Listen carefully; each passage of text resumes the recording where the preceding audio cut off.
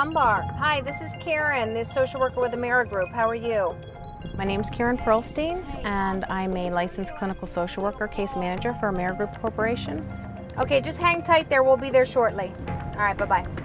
My name is Amy Hargenhan, and I'm a registered nurse, nurse case manager with AmeriGroup. We go out and see our members in the community and try and assist them with their medical needs, their social needs, anything that might be going on with them. We try to find the members who are in major crisis, normally in the hospital. Sometimes we just go out on the street and try and find them. Okay, right now we're in the North Avenue area, and this area is pretty well known for drugs, some gang activity, homicide rates pretty high around here. We do most things together as a team because a lot of these cases require both the nurse and the social worker. And this guy looks like he's got a head of amputation. We've met him before. That is him. Yep. We've tried to pick him up for case management Mhm. before, and he's he um, kind of disappeared on us. A lot of times, there's a lot of miscommunication when they leave the hospitals and not real clear on what they're supposed to do.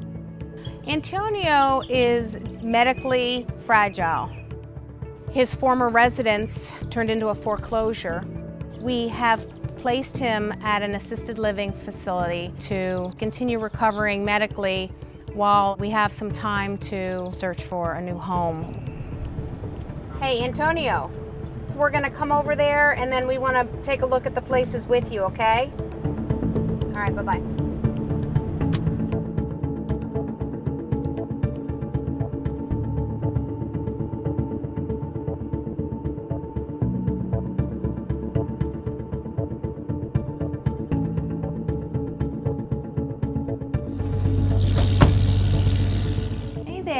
You ready to see one of the apartments? Yeah. Okay.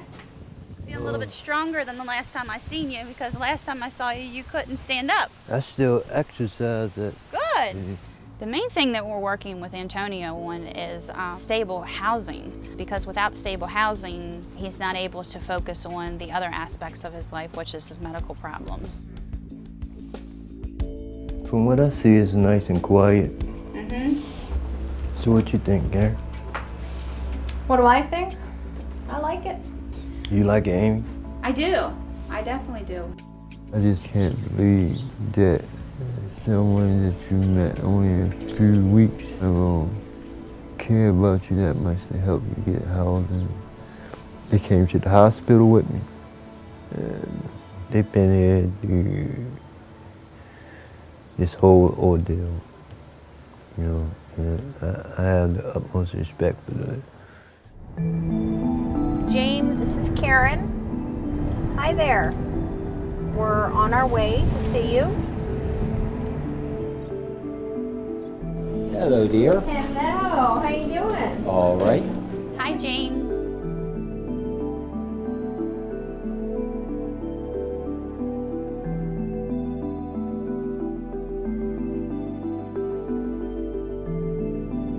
James is uh, a character. He's an old Harley Davidson rider and he loves telling people about the bike that he had, the motorcycle.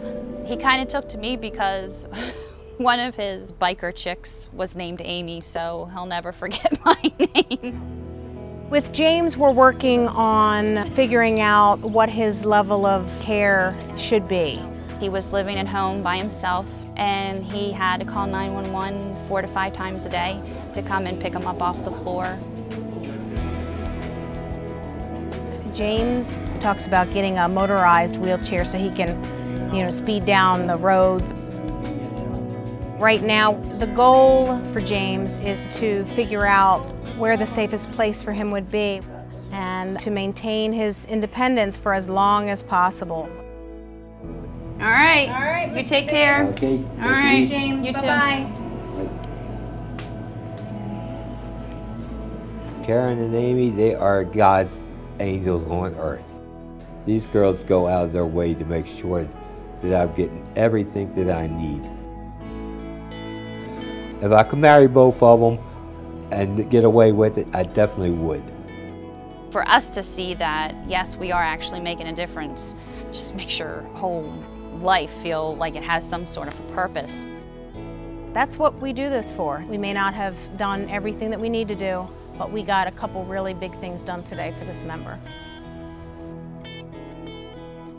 And it feels really nice.